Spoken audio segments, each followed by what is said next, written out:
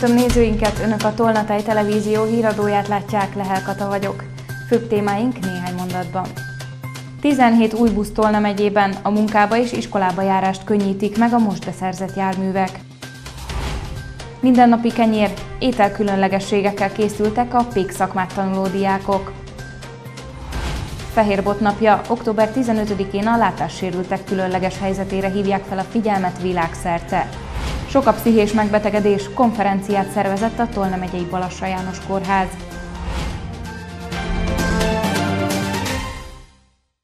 Tizenhét új távolsági busszal gazdagodott Tolna megye. Az új járatok nem csak a legszigorúbb környezetvédelmi normáknak felelnek meg, hanem a 21. századi kényelmi elvárásoknak is, így például USB csatlakozókkal is felszerelték azokat.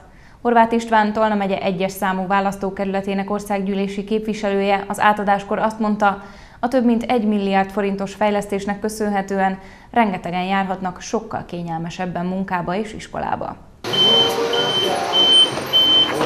Csukodik az ajtó, és már indul is a próbakörre az egyik most beszerzett távolsági busza a Szexádi pályaudvarról.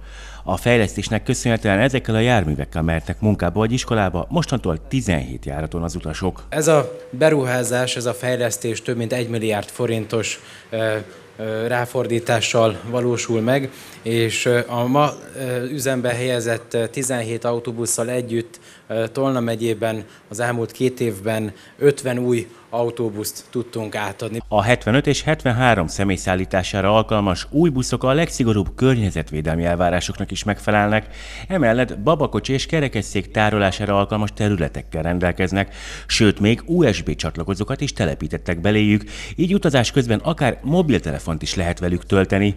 Horváth István Tolna megye egyes számú választókerületének országgyűlési képviselője a járművek átadásakor azt emelte ki, hogy a beszerzésnek köszönhetően több tízezeren járhatnak kényelmesebben munkába és iskolába. Szexád, mint megyeszékhely, ugye a legnagyobb foglalkoztató a térségben, és a szexádi munkavállalóknak több mint 65% a vidékről érkezik be, és igazából, ha lehet reggel látni a buszokat, akkor mondhatni azt, hogy tele vannak a, a buszok, mind a befelé érkező, mind a kifelő menő buszok, és nem mindegy, hogy az ide érkező munkavállalók milyen körülmények között érkeznek. Zsikó Zoltán a Tolna megyei közgyűlés alelnöke arról beszélt, hogy az új buszok kényelmi szolgáltatásai, mint az USB portok vagy a felszállás segítő rámpák élményé tehetik a távolsági járatok igénybevevők számára az utazást. A megye továbbra is alázattal vállalja az együttműködést, a közös munkát, hiszen Tolna megye előrehaladása az elsődleges feladatunk, az itt élő emberek boldogulása a mi közös ügyünk és kötelességünk. Tolna megyében egyébként évente 900 ezer távolsági jegyet értékesít a Volán busz, a járműveik átlag életkora pedig a mostani beszerzéssel 12-ről 10 évre fiatalodott. 1249 új koronavírus megbetegedést igazoltak csütörtökön idehaza, ezzel a járvány kezdete óta összesen 833.115 főre nőtt a beazonosított fertőzöttek száma. Elhunyt 10 többségében idős krónikus beteg, így az áldozatok száma 30.351 főre emelkedett. 800 koronavírusos beteget ápolnak kórházban, közülük 121-en vannak lélegeztetőgépen. Oltást eddig már 5 millió 920 ezeren kaptak. Tolna megyében 9 új fertőzöttet regisztráltak csütörtökön, így a járvány kezdete óta összesen 17.996-an kapták el a koronavírust az országnak ezen a részén. A harmadik oltás felér egy életbiztosítással jelentette ki Orbán Viktor péntek reggeli szokásos rádióinterjújában. A miniszterelnök úgy fogalmazott, hogy a járvány negyedik hulláma lassan bekeríti Magyarországot kelet felől mindenképpen. Megjegyezve a szomszédos Romániában, ahol a magyarországi 59 helyett csak 29%-os az átoltottság, már most riasztó a helyzet.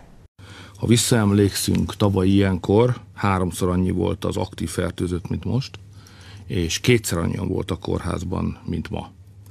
Ez azt jelenti, hogy az oltás működik, a beoltott emberek közül megbetegedők aránya az 1% alatt van. A, hát én igyekszem jó példával előjárni, van egy trükk a tarsolyunkban, ezt kérdezi. Hát azt próbálom a lelkére kikötni, vagy a lelkére beszélni az embereknek, hogy nem fogják tudni elkerülni a negyedik hullámot.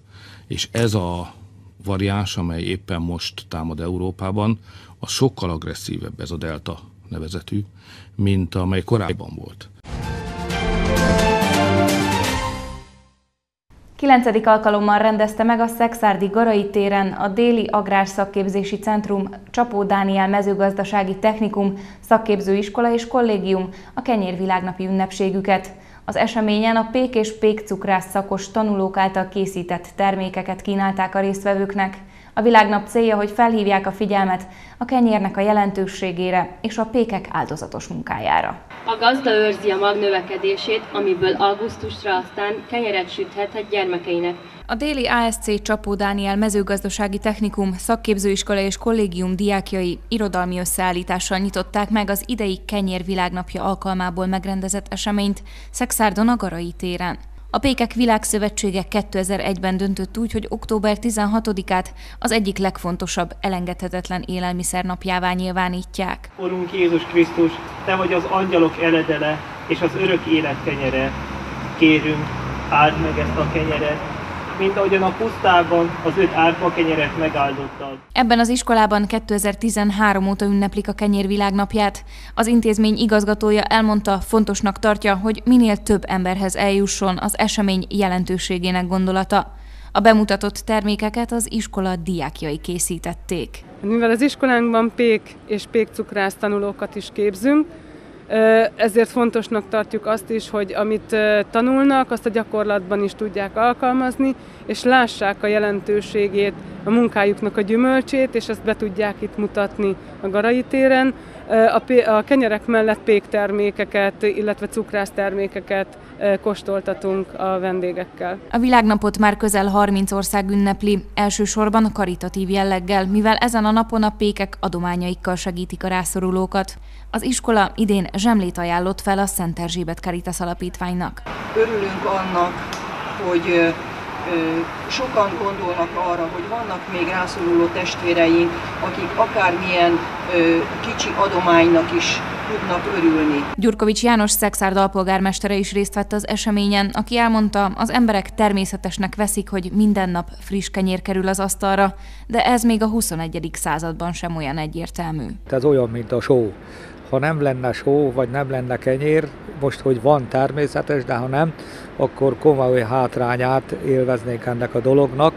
Amit itt tapasztaltunk a helyszínen, hogy a diákok nagyon-nagyon komoly és sokrétű termékpalettával készültek. Az alpolgármester hozzátette, Magyarország kivételes helyzetben van, hiszen jó minőségű búza terem a földeken, ami biztosítja a magyar emberek ellátását. Október 15-e a látássérültek nemzetközi napja, vagyis a Fehérbot napja. A nemzetközi kezdeményezés célja a közvélemény figyelmének felhívása a vakok és a gyengén látók sajátos helyzetére, keresve gondjaik megoldásának lehetőségeit, a társadalomba való teljesebb értékű beilleszkedésük útját – Szexárdon idén is megemlékeztek a jeles alkalomról. A Vakok és Gyengénlátók Tolna megyei egyesülete ünnepi műsor keretében emlékezett meg a Fehérbot világnapjáról. A jeles napot október 15-én tartják. A megemlékezés azért is fontos, hogy felhívják a figyelmet a vakok és gyengéllátók problémáira. A Szexárdi Székhelyű Egyesület napi szinten tud támaszt nyújtani a fogyatékkal élő társaiknak. Gyerekkoromban, mivel vakon születtem, ők az Egyesület vezetősége, illetve a tapasztaltabbak, úgy mondom, segítettek édesanyámnak, meg édesapámnak, hogy embert neveljenek belőlem.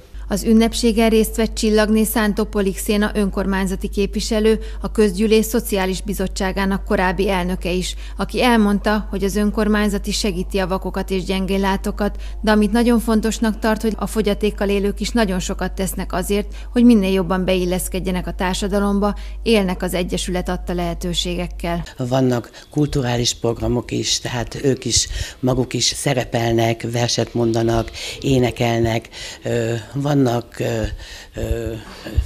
például számítógépes tanfolyamok, megtanulják a számítógép kezelését, az okostelefon kezelését, masször tanfolyam, tehát ezek mind-mind olyan dolgok, amik ahhoz járulnak hozzá, hogy ezek az emberek teljes értékűnek érezzék magukat. Az eseményen átadták a dr. Tész László emlékérmet is, amit idén Csillagni Szántopolixéna kapott.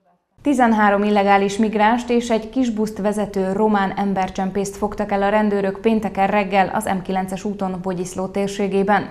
A határsértők szírnek vallották magukat, őket a hatályos magyar jogszabályok szerint visszakísérték az ideiglenes biztonsági határzárhoz. Az embercsempész akár 15 év börtönbüntetést is kaphat.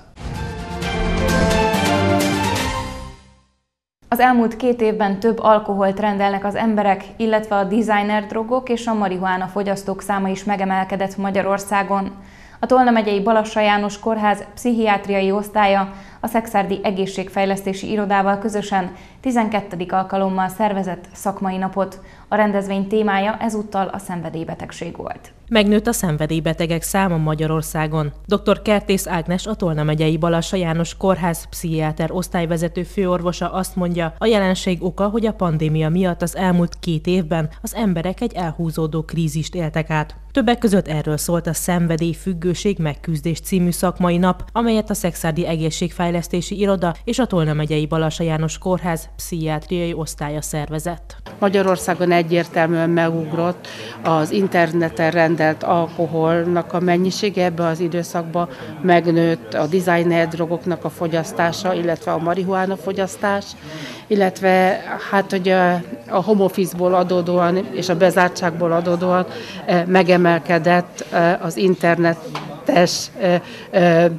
órákkal eltöltött időknek a száma is. A rendezvényt 12. alkalommal tartották meg. A szakértő elmondása szerint azzal a célral hozták létre a programot, hogy többek között felhívják a figyelmet a pszichés megbetegedésben szenvedő emberekre. Azt a városi közösséget, ami körbevesz bennünket, támogat, segít bennünket nap mint nap, beavassuk azokba a munkákba, amiket nap mint nap végzünk, hogy egy kicsit jobban belelássanak magukba a problémákba, amikkel a mentális zavarban küzdők birkoznak nap mint nap. Dr. Kertész Ágnes elmondta azt is, hogy Magyarországon minden tizedik embernek van valamilyen mentális betegsége. Már több mint 150 ezer előfizetője van a Szexárdi székhelyű Tar Kft-nek, hangzott el a telekommunikációs cég megalapításának 30. évfordulóját ünneplő rendezvényen. A 100%-ban magyar tulajdonú vállalat 300-nál is több munkavállalónak és családjaiknak biztosít megélhetést. Különböző elődintézményei működését követően 1990-ben nyerte ezt a végleges formáját a cég. Azóta az ország egyik legjelentősebb távközlési vállalatává nőtte ki magát a fennállásának 30. évfordulóját ünneplő TAR Kft. A családi cégnek indult vállalat első munkatársi gárdájából ma is 12-en a cég alkalmazásába állnak. Mintha egy nagy család lenne, és ez a 30 év, ez arról szólt, hogy egy nagy család, akik együtt dolgoznak, egymásért dolgoznak, az emberekért, az ügyfelekért dolgoznak. Régen koaxot húztunk földbe fektetve simán, most pedig minden védőcsőbe, optikai kábellel a berendezések régen egy kis szekrénybe elfértek a fejállomási egységek, most már egy külön klimatizált 150 négyzetméteres épületbe, vagy helyiségbe fér be ez a komoly berendezés. Az elmúlt 30 év alatt a technika folyamatosan modernizálódott, és a szolgáltatások is nagy mértékben bővültek, mondta Tar János ügyvezető. Számokban több mint 120 ezer tévés ügyfelet, 100 ezer internetes ügyfelet, 50 ezer telefonos ügyfelet, több mint 5 ezer mobilos ügyfelet szolgálunk már ki illetve rengeteg közületi ügyfelet,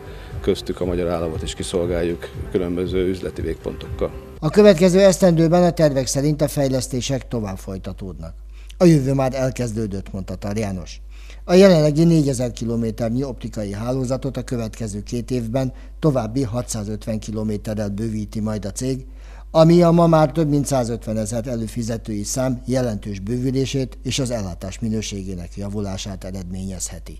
Regionális híreink következnek.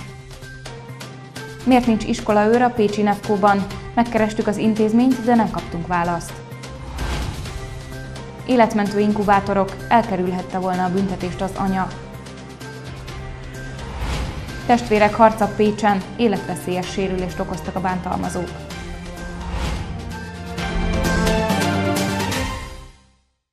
Iskolaőr, manapság igen népszerű ez a szó, főként Pécsett. Már szinte az egész ország ismeri Dezső bácsi történetét, akit dohányzó fiatalok visszatartása miatt ítélt pénzbüntetésre a bíróság. Mindez valószínűleg nem történt volna meg, ha a NEFCO vezetése igényel iskolaőrséget, hiszen ennek a szervezetnek van felhatalmazása ilyen ügyekben intézkedni. Szerettük volna megkérdezni az igazgatót, miért nem élnek ezzel a szolgáltatással, ám többszöri próbálkozás után sem értük el. Iskolaőr. Az iskolaőrök. Iskolaőr. Szakszervezet is, politikus, pszichológus. Többen is felhozták az iskolaőrség rendszerét, amikor a Pécsi Dezső bácsi ügyében kérdeztük. Mint ismert, a kertvárosi Nefkó tanára két renitens dohányzó fiatalt utasított rendre még tavaly. Tette ezt úgy, hogy a szóváltást követően megfogta az egyikőjük hátizsákját. Ez bár az intézmény területén, de az iskola falain kívül történt, így a bíróságon pénzbüntetésre ítélték a pedagógust. Ha az ANK-ban lett volna iskolaőr, akkor mindez nem történik meg, az intézmény viszont nem igényelt ilyen szolgáltatást. Szerettük volna megtudni, miért nincs egy egyébként általános iskolát és gimnáziumot, sőt kollégiumot magában foglaló intézményben iskolaőr, illetve az eset után tervezik-e mégis igénybe venni ezt a segítséget. A héten többször is próbáltuk megkeresni az iskola igazgatóját, de nem értük el. Végül csütörtökön az igazgató helyettes vette fel a telefont, aki elmondta, hogy az intézményvezető betegség miatt távol van, és hozzátette, hogy ez a kérdés nem az ő hatásköre, ezért nem kíván rá válaszolni. Tavaly ősz óta működik egyébként az iskolaőrség rendszere. A jogszabályban részletesen is leírják, hogy egészen pontosan mire terjed ki az iskolaőr hatásköre. Itt olvasható, hogy jogában áll elkövető személye szemben testi kényszer alkalmazása, a biztonságot sértő vagy veszélyeztető tevékenység abbahagyása érdekében. Sőt, vegyi eszközt, rendőrbotot és még bilincset is használhat. Ami pedig szintén fontos, hogy nem csak az iskola falain belül, mint a pedagógusok, hanem az intézmény egész területén, azaz az udvaron is tanítási időben. Tehát, ha a NEFCO területén történt esetben az iskola őr járt volna el, aki a körülményeket figyelembe véve visszatarthatja a fiatalt, szinte bármilyen módon, mindez nem történt volna meg Jancsula Dezsővel, aki egyébként mindössze néhány évre van a nyugdíjtól. A törvény szerint azonban nem foglalkozhat gyerekekkel olyan személy, akit büntető ügyben elítélnek. Csak a szerencsém múlott, hogy még időben rátaláltak arra az újszülött kislányra, akit anyja egy fonyódi busz megállóban hagyott vasárnap este. A csecsemők könnyebben kihűlhetnek, ezért jobban kitettek a környezetnek, mondja a szakember. Ezért hozták létre azt az újszülött mentő inkubátorhálózatot hazánkban, ahol büntetlenül otthagyhatják gyermeküket veszélyeztetés nélkül a nők. A fonyódi esetben emberölési kísérlet a vád az anya ellen. Ez az a fogyódi busz megálló a rendőrségi fényképen, ahol egy csecsemőt találtak október 10-én vasárnap délután. Ebbe a takaróba csomagolva fedezte fel a kislányt egy kutyát sétáltató pár. Egy 37 éves zalaegerszegi nő az anya, aki szerdán feladta magát a Somogy megyei rendőrfőkapitányságon. A nyomozók az asszonyt emberölés büntet kísérlet elkövetésének megalapozott gyanúja miatt kihallgatták, majd bűnügyi őrizetbe vették. A csecsemőt a kihűlés veszélye fenyegette, mondja az orvos. Arra vannak adatok, dolog, hogyha teljesen fedetlen testtel van valaki hideg környezetben, akkor akár 3-4 fokot is eshet a testhőmérséklet fél órán belül. 32 fokos testhőmérséklet alatt már súlyos problémák adódnak, a kicsik pedig sokkal gyorsabban hűlhetnek ki, mondja a professzor. A gyermek nem miniatűr felnőtt. Különösen igaz ez az újszülöttekre, akiknek a testfelület testtömeg aránya lényegesen nagyobb, mint a felnőtteknek. Ezért a hővesztés is sokkal kifejezettebb újszülötteknél, különösen koraszülötteknél, de különösen a megszületés utáni órákban, hiszen az újszülött a hőjét a hideg környezetben többféle formában veszti. A hideg tárgyal való érintkezés, a hűvös légáramlatok, a párologtatás, a test hőleadása mind veszteség, ezért kell betakarni őket. Az anya nem akarja a gyermeket, az életét megmentheti. Erre szolgál az újszülött mentő inkubátor hálózat az országban 1996 óta, mondja a professzor. Szép számmal eh, el is helyeznek ezekbe az inkubátorokba újszülötteket, jellemző módon érett újszülötteket, és szerencsés módon minden probléma nélkül örökbe is adhatók ezek az újszülöttek. Pécsen is van ilyen inkubátor a gyermekgyógyászati klinikán. Ez az az inkubátor itt a gyermekgyógyászati klinikán, ahova bárki behozhatja megszületett gyermekét, hogyha nem akarja felnevelni. A falon ki van írva, hogy kell használni ezt a berendezést, illetve az is, hogy mi történik a kisgyermekkel, miután elhelyezték az inkubátorban. Egy 2020-as nyilvántartás szerint 36 ilyen újszülött mentő inkubátor van hazánkban. A lista szerint Fonyódon nincs, de 40 kilométerre helyen már igen. Ez volt a legközelebb a 37 éves zalai nőhöz, aki az inkubátorba büntetlenül betehette volna gyermekét, és most nem kellene emberölés büntet kísérletéért felelnie a hatóságok előtt. Lapáttal, botokkal estek neki haragosuknak és testvérének azok a férfiak, akik ellen most emelt vádat a Baranya megyei főügyészség. A négy elkövető szintén testvér. Annyira megverték az egyik sértettet, hogy életveszélyt okozó testi sértésért is felelniük kell a bíróság előtt. Az eset tavaly júliusban történt a Pécsi Lánc utcában. Itt a Pécsi Lánc utcánál bántalmazott négy testvér egy testvérpárt. A vádirat szerint a négy vádlott azért kereste meg az idősebb sértettet, mert az korábban szóváltásba keveredett egyikük feleségével.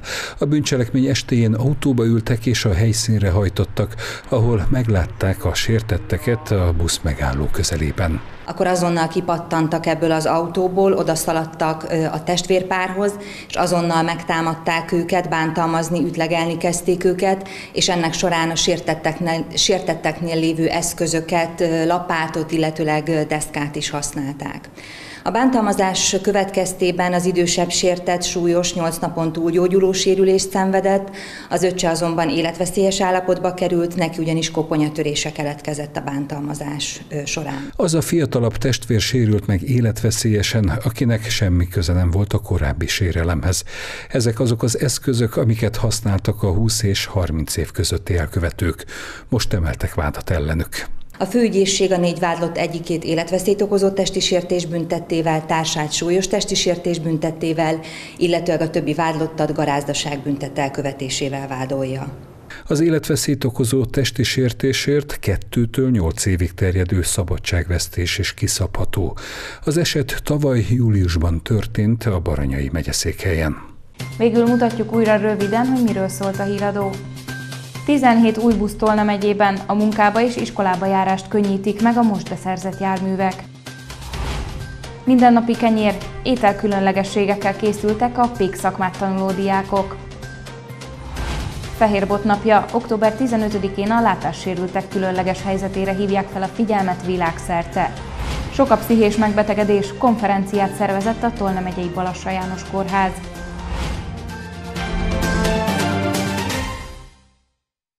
Szombaton változó vastagságú, olykor szakadozott felhőzet mellett a délután folyamán lehet bízni több-kevesebb napsütésben. Vasárnap és hétfőn reggelenként lehet párásság, majd napközben változó napsütésre, átmeneti, mérsékelten felhős időszakokra, de csapadékmentes időre van kilátás. A tartósabban ködös területeken az átlagosnál alacsonyabb hőmérséklet valószínű. Friss hírekkel legközelebb hétfőn este jelentkezünk, addig is kövessék műsorainkat, illetve keressenek minket a Facebookon, ahol naponta friss hírekkel, érdekességekkel várjuk Önöket. Ha látnak valamit, ami Önök szerint figyelemre méltó, akkor azt osszák meg velünk, hogy másoknak is megmutathassuk. Mára köszönöm figyelmüket, viszontlátásra!